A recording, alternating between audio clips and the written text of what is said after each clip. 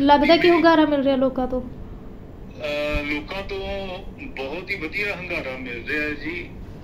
ਉਹਦਾ ਮੇਨ ਕਾਰਨ ਇਹ ਹੈ ਵੀ ਲੋਕਾਂ ਦਾ ਜਿਹੜੀਆਂ ਦੂਸਰੀਆਂ ਪਾਰਟੀਆਂ ਜਿਨ੍ਹਾਂ ਨੇ ਝੂਠ ਦੇ ਆਧਾਰ ਦੇ ਉੱਤੇ ਪੰਜਾਬ ਦੇ ਵਿੱਚ ਲੋਕਾਂ ਨੂੰ ਗੁੰਮਰਾਹ ਕਰਕੇ ਸਰਕਾਰਾਂ ਬਣਾਈਆਂ ਜੀ। ਉਹਨਾਂ ਦੇ ਝੂਠ ਹੁਣ ਨੰਗੇ ਹੁੰਦੇ ਜਾ ਰਹੇ ਆ।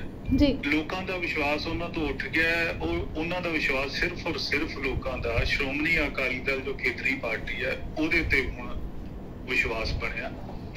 ਪਹਿਲਾਂ ਵੀ ਕੀਤਾ ਹੁਣ ਬਾਕੀ ਪਾਰਟੀਆਂ ਨੂੰ ਲੋਕਾਂ ਨੇ ਦੇਖ ਲਿਆ। ਜੀ। ਔਰ ਉਸ ਸਵਾਏ ਨਿਰਾਸ਼ਾ ਤੋਂ ਲੋਕਾਂ ਨੂੰ ਹੋਰ ਕੁਝ ਵੀ ਪੱਲੇ ਨਹੀਂ ਪਿਆ। ਇਸ ਕਰਕੇ ਲੋਕਾਂ ਨੇ ਇਹ ਮਹਿਸੂਸ ਕੀਤਾ ਕਿ ਜੇ ਪੰਜਾਬ ਨੂੰ ਕੋਈ ਬਚਾ ਸਕਦਾ ਤਾਂ ਸ਼੍ਰੋਮਣੀ ਅਕਾਲੀ ਦਲ ਪਾਰਟੀ ਹੀ ਇੱਕ ਵਾਹਿਦ ਪਾਰਟੀ ਹੈ ਜਿਹੜੀ ਬਚਾ ਸਕਦੀ ਹੈ। ਜੀ। ਲਗਾਤਾਰ ਜਿਸ ਤਰੀਕੇ ਦੇ ਨਾਲ ਸੁਖਬੀਰ ਸਿੰਘ ਬਾਦਲ ਜੀ ਦੇ ਵੱਲੋਂ ਵੀ ਪੰਜਾਬ ਬਚਾਓ ਯਾਤਰਾ ਕੀਤੀ ਜਾ ਰਹੀ ਹੈ ਜੀ ਤੇ ਇਸ ਵਾਰ ਪੰਜਾਬ ਦੇ ਵਿੱਚ ਅਗਰ ਪ੍ਰੋਪਰ ਸ਼੍ਰੋਮਣੀ ਅਕਾਲੀ ਦਲ ਦੀ ਗੱਲ ਕਰੀਏ ਤਾਂ ਕਿੰਨਾ ਕੁ ਹੁੰਗਾਰਾ ਮਿਲ ਰਿਹਾ ਹੈ? ਕਿਉਂਕਿ ਕਈ ਅਜਿਹੇ ਦੇਖਣ ਨੂੰ ਮਿਲ ਰਹੇ ਨੇ ਪਾਰਟੀ ਦੇ ਵਿੱਚ ਵੱਖ-ਵੱਖ ਪਾਰਟੀਆਂ ਦੀ ਗੱਲ ਕਰ ਲਈਏ ਤਾਂ ਇੱਕ ਹੋਰ ਪਾਰਟੀਆਂ ਦੇ ਵਿੱਚ ਵੀ ਸ਼ਮੂਲੀਅਤ ਕਰਨ ਦੇ ਸਿਲਸਿਲੇ ਲਗਾਤਾਰ ਜਾਰੀ ਨੇ ਵੱਖ-ਵੱਖ ਪਾਰਟੀਆਂ ਦੇ। ਪਰ ਸ਼੍ਰੋਮਣੀ ਅਕਾਲੀ ਦਲ ਦਾ ਜੇਕਰ ਪੂਰਨ ਤੌਰ ਦੇ ਨਾਲ ਦੇਖਿਆ ਜਾਵੇ ਤਾਂ ਕਿੰਨਾ ਕੁ ਲੱਗਦਾ ਕਿ ਪੂਰਨ ਤੌਰ ਦੇ ਨਾਲ ਇਸ ਵਾਰ ਸ਼੍ਰੋਮਣੀ ਅਕਾਲੀ ਦਲ ਪੈਰ ਜਮਾ ਪਾਈ ਹੈ ਪੰਜਾਬ ਦੇ ਵਿੱਚ? ਬਿਲਕੁਲ ਜੀ ਬਿਲਕੁਲ। ਇਹ ਪਹਿਲਾਂ ਵੀ ਮੈਂ ਬੇਨਤੀ ਕਰ ਚੁੱਕਿਆ ਹਾਂ ਕਿ ਪੰਜਾਬ ਦੇ ਲੋਕ ਬੜੇ ਸੂਝਵਾਨ ਲੋਕ ਨੇ। ਇਹਨਾਂ ਨੇ ਬਹੁਤ ਬਰੀਕੀ ਦੇ ਨਾਲ ਦੂਸਰੀਆਂ ਪਾਰਟੀਆਂ ਨੂੰ ਦੇਖ ਲਿਆ ਔਰ ਉਹਦੀ ਤੁਲਨਾ ਜਦੋਂ ਇਹਨਾਂ ਨੇ ਕੀਤੀ ਹੈ ਤੁਸੀਂ ਖੁਦ ਦੇਖਿਆ ਹੋਵੇਗਾ ਕਿ ਮਾਨਯੋਗ ਪ੍ਰਧਾਨ ਸਾਹਿਬ ਸਰਦਾਰ ਸੁਖਬੀਰ ਸਿੰਘ ਜੀ ਬਾਦਲ ਹੋਰਾਂ ਨੇ ਜਦੋਂ ਤੋਂ ਪੰਜਾਬ ਬਚਾਓ ਯਾਤਰਾ ਸ਼ੁਰੂ ਕੀਤੀ ਹੈ ਜੀ। ਉਹਦੇ ਵਿੱਚ ਆਪ ਮਹਾਰੇ ਲੋਕਾਂ ਦਾ ਇਕੱਠ ਜਿਹੜਾ ਉਹ ਇਹ ਚੀਜ਼ ਨੂੰ ਸਾਬਤ ਕਰਦਾ ਹੈ।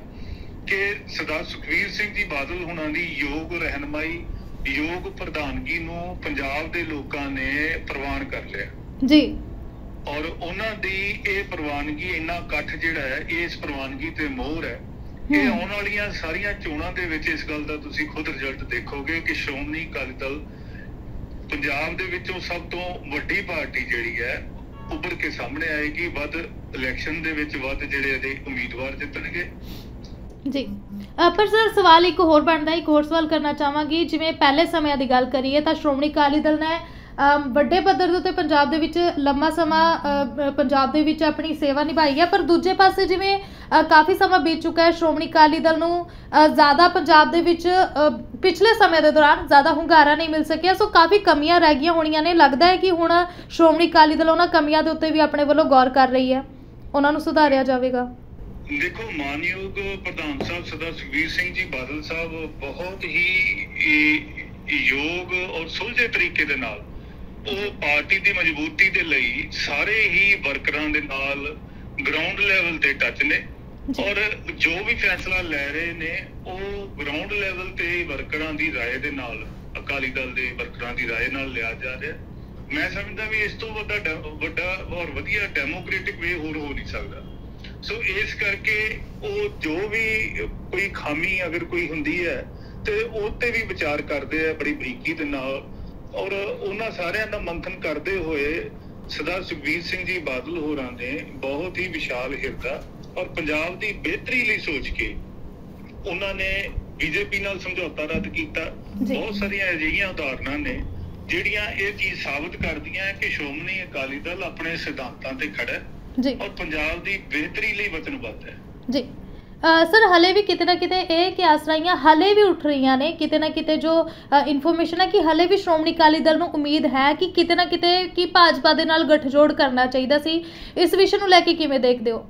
ਕਿ ਸ਼੍ਰੋਮਣੀ ਅਕਾਲੀ ਦਲ ਇਕੱਲੇ ਹੀ ਕਾਫੀ ਹੈ ਦੇਖੋ ਸ਼੍ਰੋਮਣੀ ਅਕਾਲੀ ਦਲ ਮੈਂ ਪਹਿਲਾਂ ਵੀ ਬੇਨਤੀ ਕਰ ਚੁੱਕਿਆ ਹਾਂ ਕਿ ਸਰਦਾਰ ਸੁਖਬੀਰ ਸਿੰਘ ਜੀ ਬਾਦਲ ਸੱਤਾ ਵਾਸਤੇ ਨਹੀਂ ਪੰਜਾਬ ਦੇ ਲੋਕਾਂ ਦੇ ਹਿੱਤਾਂ ਵਾਸਤੇ ਡਟੇ ਹੋਏ ਹੈ ਜੀ ਅਗਰ ਬੀਜੇਪੀ ਨਾਲ ਸਮਝੌਤਾ ਇਸ ਗੱਲ ਤੇ ਹੀ ਹੋ ਸਕਦਾ ਸੀ ਜਿਵੇਂ ਕਿ ਮਾਨਯੋਗ ਕੋਰ ਕਮੇਟੀ ਦੇ ਮੈਂਬਰ ਸਹਿਬਾਨ ਔਰ ਪ੍ਰਧਾਨ ਸਾਹਿਬ ਨੇ ਰਾਏ ਕਰਕੇ مشورہ ਕਰਕੇ ਬੀਜੇਪੀ ਅਗਰ ਪੰਜਾਬ ਦੇ ਬੰਦੀ ਸਿੰਘਾਂ ਦੀ ਰਿਹਾਈ ਤੇ ਗੱਲ ਕਰਦੀ ਇਹ। ਗੱਲਾਂ ਮਨਜ਼ੂਰ ਕਰਦੀ ਇਸ ਮੰਗ ਨੂੰ ਪੰਜਾਬ ਦੀ ਕਿਸਾਨੀ ਦੀ ਗੱਲ ਕਰਦੀ ਪੰਜਾਬ ਦੇ ਕਿਸਾਨਾਂ ਦੀ ਮੰਗ ਨੂੰ ਮਨਜ਼ੂਰ ਕਰਦੀ। ਫਿਰ ਇਹ ਸਮਝੌਤਾ ਜਿਹੜਾ ਹੈ ਉਹ ਕਰਨਾ ਸੀ। ਪਰ ਜੇ। ਉਹ ਪੰਜਾਬ ਦੇ ਇਹ ਦੋ ਮੇਨ ਮੁੱਦੇ ਜਿਹੜੇ ਨੇ ਉਹਨਾਂ ਦੇ ਉੱਤੇ ਗੱਲ ਨਹੀਂ ਕਰਦੀ ਜਾਂ ਪ੍ਰਵਾਨ ਨਹੀਂ ਕਰਦੀ। ਤਾਂ ਫਿਰ ਫਿਰ ਅਕਾਲੀ ਦਲ ਜਿਹੜਾ ਕਿਸੇ ਵੀ ਕੀਮਤ ਤੇ ਪ੍ਰਧਾਨ ਸਾਹਿਬ ਨੇ ਕਿਹਾ ਕਿ ਉਹ ਸਮਝੌਤਾ ਨਹੀਂ ਕਰੇਗਾ। ਕੱਲਾ ਚੋਣ ਲੜੇਗਾ। ਔਰ ਉਮੀਦ ਕਰਦੇ ਹਾਂ ਕਿ ਲੋਕ ਸ਼੍ਰੋਮਣੀ ਅਕਾਲੀ ਦਲ ਵੱਲੋਂ ਲਏ ਗਏ ਇਸ ਲੋਕ ਹਿੱਤ ਫੈਸਲੇ ਲਈ ਇਹ ਉਹ ਉਹਨਾਂ ਦਾ ਸਵਾਗਤ ਕਰਨਗੇ। ਜੀ। ਪੰਜਾਬ ਦੇ ਲੋਕ ਉਹਨਾਂ ਨੂੰ ਸਰਦਾਰ ਸੁਖਬੀਰ ਸਿੰਘ ਜੀ ਬਾਦਲ ਨੂੰ ਸ਼੍ਰੋਮਣੀ ਅਕਾਲੀ ਦਲ ਮਜ਼ਬੂਤ ਕਰਨ ਦੇ ਲਈ ਪੂਰਾ ਮਨ ਬਣਾਈ ਬੈਠੇ ਹੈ ਆਖਰੀ ਸਵਾਲ ਰਾਜਵਿੰਦਰ ਜੀ ਆਖਰੀ ਸਵਾਲ ਕਰ ਰਿਹਾ ਆਮ ਆਦਮੀ ਪਾਰਟੀ ਵੀ ਵੱਡੇ ਦਾਅਵੇ ਕਰ ਰਹੀ ਹੈ ਆਮ ਆਦਮੀ ਪਾਰਟੀ ਨੂੰ ਕਿਵੇਂ ਦੇਖਦੇ ਹੋ? ਦੇਖੋ ਇਹ ਮੇਰੇ ਨਾਲੋਂ ਜ਼ਿਆਦਾ ਪਬਲਿਕ ਜਿਹੜੀ ਹੈ ਉਹਨਾਂ ਤੋਂ ਤੁਸੀਂ ਇਸ ਗੱਲ ਦਾ ਰੁਝਾਨ ਦੇਖ ਸਕਦੇ ਹੋ ਕਿ ਆਮ ਆਦਮੀ ਪਾਰਟੀ ਸੰਗਰੂਰ ਤੋਂ ਸੀਐਮ ਨੇ ਇਸ ਦਾ ਭਗਵੰਤ ਸਿੰਘ ਮਾਨ। ਜੀ। ਉਥੋਂ ਉਥੋਂ ਸੰਗਰੂਰ ਜ਼ਿਲ੍ਹੇ ਨੇ ਸਭ ਤੋਂ ਪਹਿਲਾਂ ਉਹਨਾਂ ਨੂੰ ਨਕਾਰ ਦਿੱਤਾ। ਜੀ। ਉਥੋਂ ਲੋਕ ਸਭਾ ਵਿੱਚ ਉਹਨਾਂ ਨੇ ਪਹਿਲਾਂ ਹਰਾਇਆ। ਹੁਣ ਅੱਗੇ ਮਨ ਬਣਾਈ ਬੈਠੇ ਨੇ ਕਿ ਅਸੀਂ ਅੱਗੇ ਵੀ ਨਹੀਂ ਇਹਨਾਂ ਦੇ ਵਿਧਾਨ ਸਭਾ ਦੇ ਮੈਂਬਰ ਵੀ ਨਹੀਂ ਜਿੱਤਣ ਦੇਣੇ ਜੋ ਜੋ ਵੀ ਵਿਧਾਨ ਸਭਾ ਦੇ ਲਈ ਲੜਨਗੇ ਉਹ ਵੀ ਨਹੀਂ ਜਿੱਤਣ ਦੇਣੇ। ਤੁਸੀਂ ਇੱਥੋਂ ਅੰਦਾਜ਼ਾ ਲਗਾ ਸਕਦੇ ਹੋ ਕਿ ਕਿੱਥੇ ਸਟੈਂਡ ਕਰਦੀ ਹੈ ਪਾਰਟੀ? ਪਾਰਟੀ ਨੇ ਹੁਣ ਤੱਕ ਜੋ ਵੀ ਦਾਅਵੇ ਕੀਤੇ ਆ ਜਿਹੜੇ ਮੇਨ ਮੁੱਦਿਆਂ ਨੂੰ ਲੈ ਕੇ ਇਹਨਾਂ ਨੇ ਲੋਕਾਂ ਨੂੰ ਗਮਰਾਹ ਕਰਕੇ ਸਰਕਾਰਾਂ ਬਣਾਈਆਂ ਸੀ ਸਰਕਾਰ ਆਪਦੀ ਬਣਾਈ ਹੈ ਉਹਦੇ ਇੱਕ ਵੀ ਗੱਲ ਤੇ ਨਹੀਂ ਹੈ ਠਹਿਰੇ। ਵੀਆਈਪੀ ਕਲਚਰ ਦੇ ਵਿੱਚ ਇਹ ਸਭ ਤੋਂ ਅੱਗੇ ਨਸ਼ਿਆਂ ਦੇ ਵਿੱਚ ਇਹ ਸਭ ਤੋਂ ਅੱਗੇ ਲਾ ਐਂਡ ਆਰਡਰ ਇਸ ਸਮੇਂ ਬੇਹੱਦ ਕਮਜ਼ੋਰ ਔਰ ਤਰਸਯੋਗ ਬਣ ਚੁੱਕਿਆ ਹੈ। ਲੋਕ ਪੰਜਾਬ ਛੱਡਣ ਲਈ ਮਜਬੂਰ ਕਰ ਦਿੱਤੇ ਇਸ ਪਾਰਟੀ ਨੇ ਕਿਉਂਕਿ ਇਹਨਾਂ ਨੂੰ ਬਿਲਕੁਲ ਹੀ ਇਸ ਗੱਲ ਦੇ ਨਾਲ ਕੋਈ ਮੰਤਵ ਨਹੀਂ ਹੈ ਕਿ ਪੰਜਾਬ ਦੇ ਲੋਕ ਚੰਗੀ ਚੰਗਾ ਜੀਵਨ ਜਿਉਣ। ਇਹਨਾਂ ਨੂੰ ਇੱਕੋ ਹੀ ਮੰਤਵ ਹੈ ਕਿ ਦਿੱਲੀ ਕੀ ਕਹਿੰਦੀ ਹੈ ਕੇਜਰੀਵਾਲ ਕੀ ਕਹਿੰਦਾ ਉਹਦੇ ਅਕੋਰਡਿੰਗ ਇਹ ਪੰਜਾਬ ਦੇ ਫੈਸਲੇ ਲੈਂਦੇ ਆ। ਪੰਜਾਬ ਦੇ ਬਾਰੇ ਇਹਨਾਂ ਦੀ ਕੋਈ ਵਿਚਾਰਧਾਰਾ ਨਹੀਂ ਕੋਈ ਵਧੀਆ ਪਲੈਨਿੰਗ ਨਹੀਂ ਹੈ।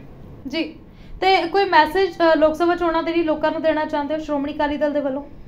ਮੈਂ ਸਮੂਹ ਪੰਜਾਬ ਵਾਸੀਆਂ ਨੂੰ ਬੇਨਤੀ ਕਰਨੀ ਚਾਹੁੰਦਾ ਹਾਂ ਕਿ ਅਗਰ ਅਸੀਂ ਪੰਜਾਬ ਨੂੰ ਸੁਹਿਰਦਤਾ ਦੇ ਨਾਲ ਪਿਆਰ ਕਰਦੇ ਹਾਂ, ਪੰਜਾਬ ਇੱਕ ਉਹ ਪੰਜਾਬ ਬਣਾਉਣਾ ਚਾਹੁੰਦੇ ਹਾਂ ਜਿਹੜਾ ਪੰਜਾਬ ਗੁਰੂਆਂ, ਪੀਰਾਂ, ਪੈਗੰਬਰਾਂ ਦੀ ਧਰਤੀ ਹੈ, ਆਪਸੀ ਭਾਈਚਾਰਕ ਸਾਂਝ ਦੀ ਧਰਤੀ ਹੈ।